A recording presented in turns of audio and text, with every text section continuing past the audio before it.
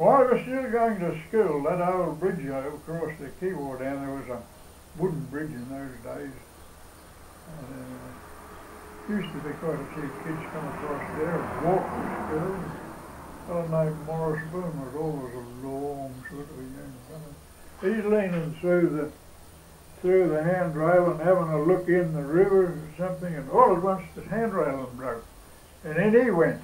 and the bridge was very high off the river. It was a long drop.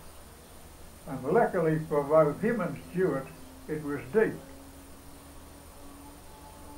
Stuart used to have them old leather school bags those days. He chucked that off and went out on the end of the gravel beam and in he went, dived in, fished him out, got a medal for it. But he was he was that sort of a bloke.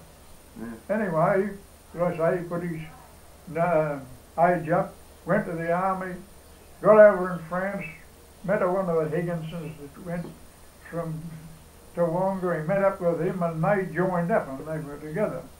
And old Henry come home and said, didn't, oh God, he said it was one day in France, he said, I walked away for something and we were standing there talking. He went away for something and I heard his bomb drop.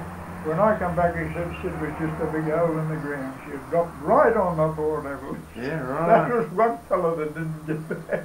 Yeah, yeah, right. Yeah. You know any of the other uh, fellas from around here that went? Any of the other ma- mountain men? Oh, yes, there was two, two Hollanders went. They both come back again. And, and uh, oh, different that was working about there. They went to the war.